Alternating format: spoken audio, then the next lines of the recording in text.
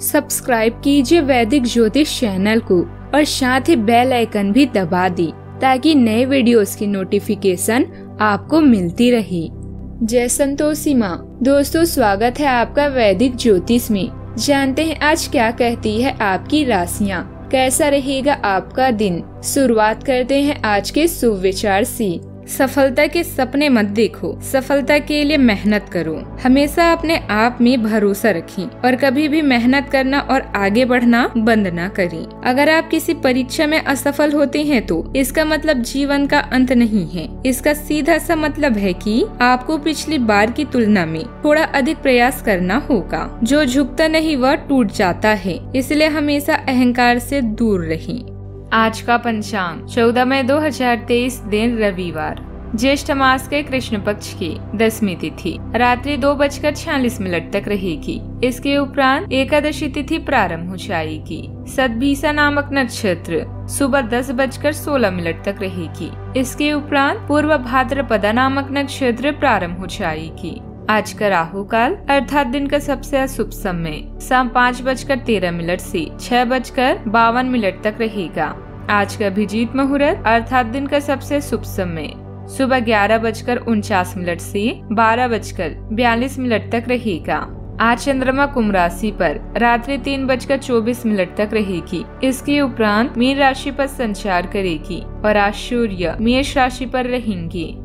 वृषभ राशि, चौदह मई दो हज़ार तेईस दिन रविवार। अपने माता पिता विशेष रूप से अपनी माँ से संपर्क करें। आपको मरम्मत में मदद या किसी नवनीकरण, परियोजनाओं के मार्गदर्शन के लिए बुलाया जा सकता है। कुछ नया सीखे और प्रकृति के साथ समय बिताएँ। घर पर रहना आपको सुरक्षित महसूस कराएगा। परिवार के साथ शांति पाए। या वो चढ़, या वो क्षण है जब आप सफलता और प्रतिष्ठा का आनंद लेंगे। जो मौके आपको मिलने वाले हैं, उनके लिए तैयार रहें। आपको काम में जो संतोष मिलता है, वह आपकी विवाहित और निजी ज़िंदगी को दर्शाता है। घर या ऑफ़िस दोनों जगह आपको आनंद मिलेगा। कठिन समय में समझदार व्यक्ति रास्ता खोजता है और कायर बहाना।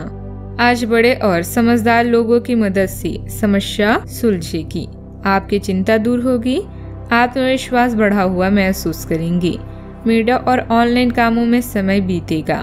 बहुत अच्छी जानकारी भी मिलेगी। सेहत की दिक्कत की वजह से नींद की कमी हो सकती है।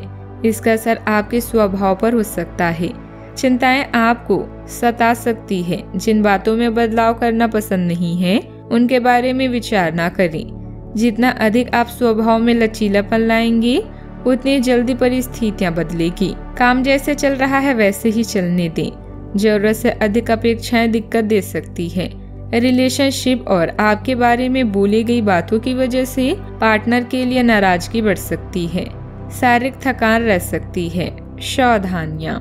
धन संबंधित मामलों में समस्याएँ बढ़ सकती है। आज आप मजबूरी में किसी की मदद करेंगे, पड़ोसियों से संबंध अच्छे रखें। राजनीतिक कामों में संभल कर रहने की ज़रूरत है। गलत कामों में आप उलझ सकते हैं। बात करते हैं लव लाइफ की। परिवार का माहौल शांतिपूर्ण और सुखद रहेगा। दोस्तों के साथ पार्टी का आयोजन हो सकता है।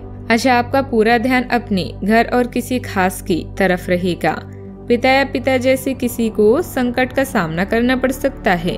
उनके साथ रहकर मदद करें, अपने साथी की उपेक्षा न करें। उससे अपने प्यार का इजहार करें, जिसके लिए आपकी मुस्कान ही काफ़ी है। घर और नौकरी दोनों में आपका दिन खुशनुमा बीतेगा। आपकी तारीफ़ होगी और आपको मान व सम्मान प्राप्त होगा। कार्य क्षेत्र की व्यस्तता आपके घरेलू जीवन को भी प्रभावित कर सकती है। इसलिए अपने साथी के लिए कुछ खास समय निकालना ना भूलें। याद रखें कि भाग्य एक ही बार दस्तक देता है। इसलिए इस सुनहरे मौके का फ़ायदा उठाएँ। बात करते हैं करियर की। अभी आप अपने करियर की तरफ़ खास ध्यान दे रहे हैं।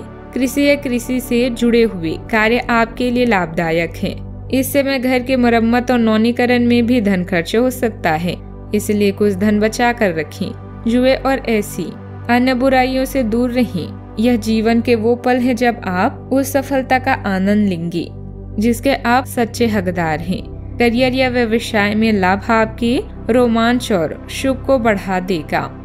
जब भी कोई मौका आपके दरवाजे पर आता है तो उसका स्वागत करना ना भूलें। याद रखें, जब तैयारी अवसरों से मिलती है तो उसी को किस्मत कहा जाता है। बात करते हैं सेहत की। एसिडिटी कब्जे जैसे परेशानियों से राहत के लिए असंतुलित खान पान से बचें। शारीरिक थकान भी रह सकती है, ध्यान रखें। आज का उपाय। आज आप बरगद के पेड़ पर जल चढ़ाएँ, शुभ रहेगा। दोस्तों, वीडियो को लाइक शेयर करना ना भूलिएगा। मिलते हैं अगली वीडियो में। जीवन में हमेशा सकारात्मक सोच के साथ आगे बढ़ते रहें। आपका दिन शुभ हो।